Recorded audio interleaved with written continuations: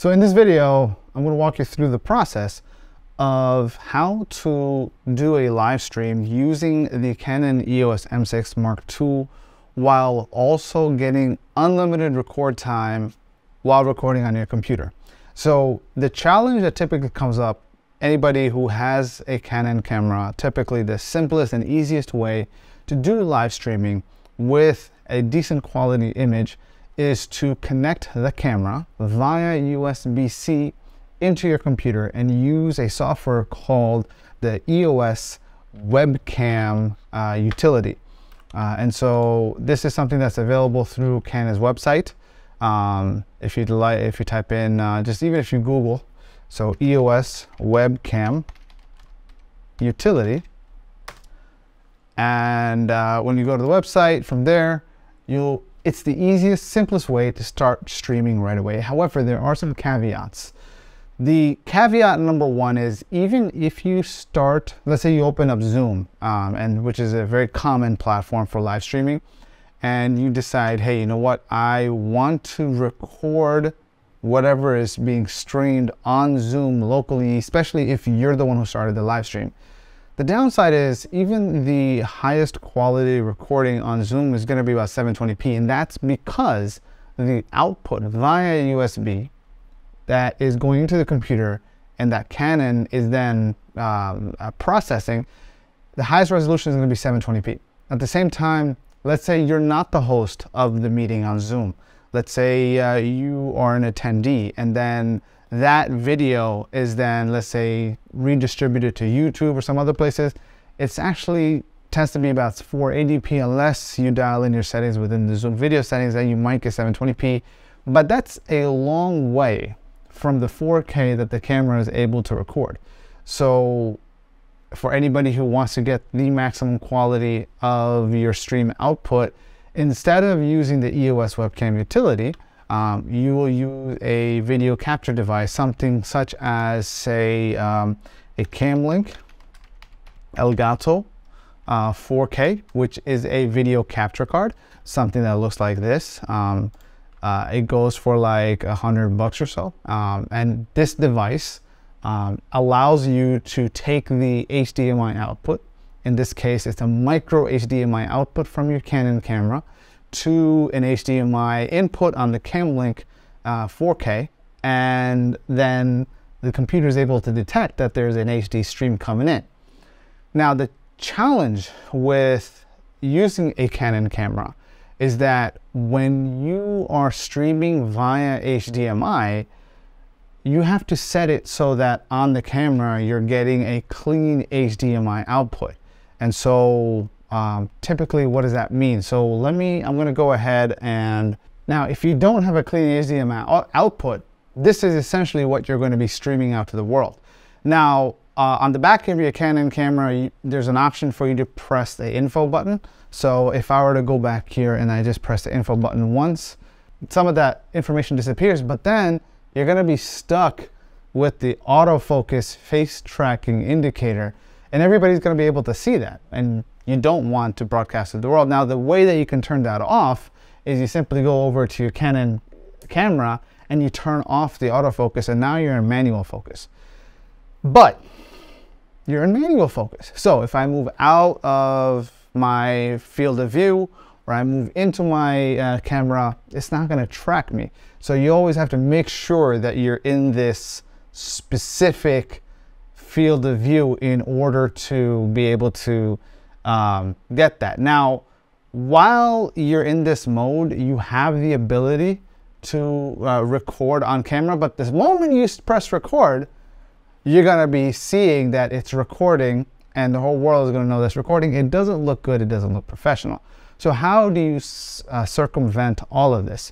Well, first of all, if you want to get a clean HDMI feed out, what you gotta do is you have to go into the menu and make sure you have a clean HDMI enabled. So from here with info, you go to clean 4K output and then essentially everything that's gonna be on your screen uh, whatever you're feeding via HDMI is going to be completely clean. Uh, while on your LCD screen, you'll be able to see all of that information, whether it's the face tracking, what your settings are on your camera, all of that. So But the challenge now is when you're in clean HDMI output, you press the record button, it's not going to record. So the way to do your recording is that you have to do it on your computer. And the way to do that is you need to download and install a software called OBS Studio. It's a free software. Um, so if you go to obsproject.com and from here, uh, just based on your operating system, whether it's Mac, Windows, or Linux. I'd be very surprised if you're using Linux, uh, but generally Mac or Windows is your standard operating software. So pick that, download it, and install the software. Once you've installed the software, um, after that, you're gonna wanna fire up uh, OBS Studio. Now this is before you've started your stream. You gotta make sure your camera's on, you've got it powered. So typically when you're operating this camera. You don't want to be using it on battery because the battery life is not going to be very good.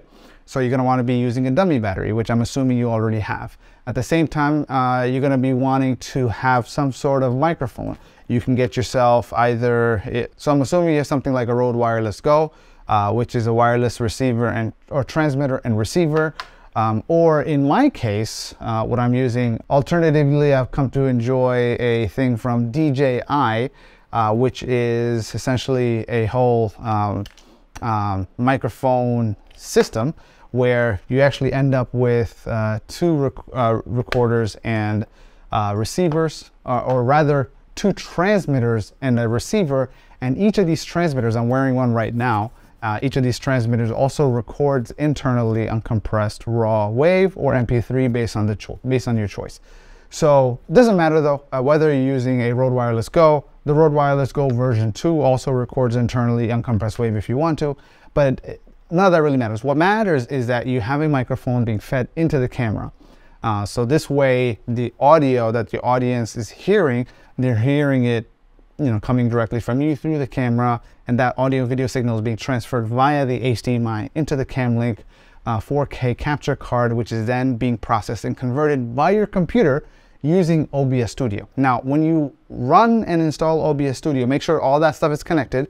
You have your dummy battery powering your camera because the battery life on the Canon EOS M6 Mark II uh, tends to be about 30 to 40 minutes.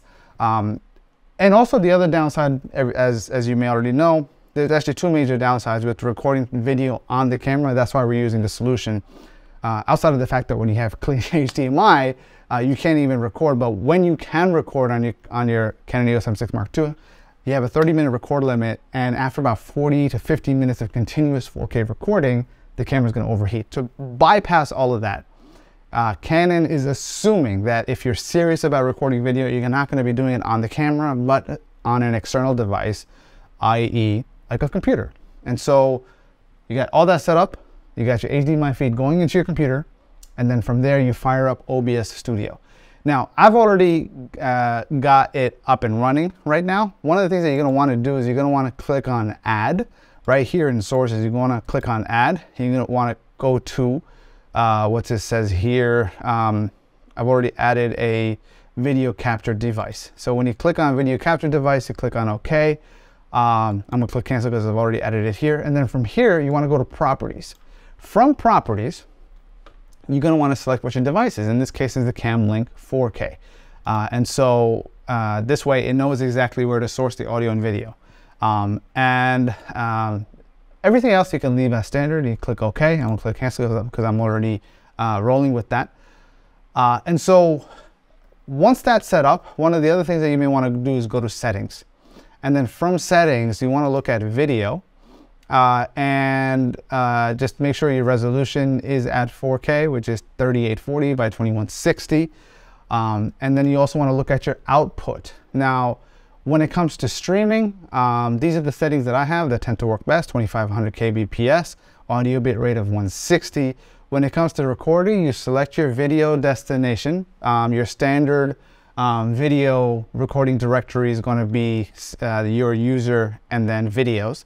And then from there, in terms of recording quality, what I like to do is indistinguishable quality large file size, MP4, and encoder using hardware. Click OK or click Apply. Once you have that set up, all you have to do is just press Start Recording. Right now it says Stop Recording because I'm recording on the computer right now as I am doing this video.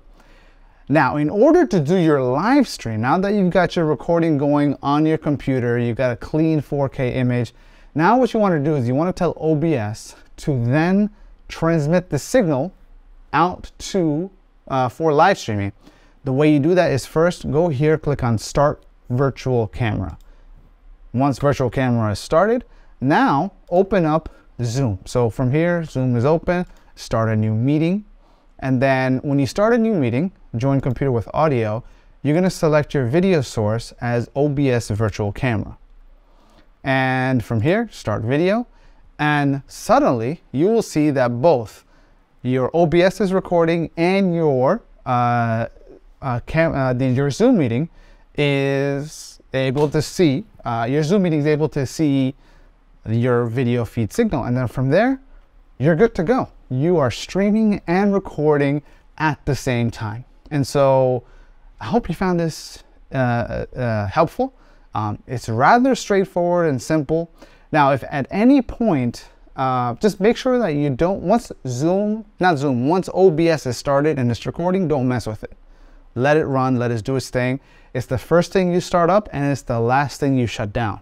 And so in the case of my Zoom meeting, once I'm done with the Zoom meeting, I go ahead and close that out and meeting for all, or in this case, you just leave the meeting. And then from here, once you're done, you click on stop virtual camera. And so no longer are you using the Zoom meeting um, because, or uh, it could be Zoom, it could be YouTube, whatever you're uh, um, broadcasting to. And so, and then from there, you click on stop recording uh, and then your file will be saved locally on the computer. Um, if you have any questions, let me know. You know where to find me. I hope this was helpful.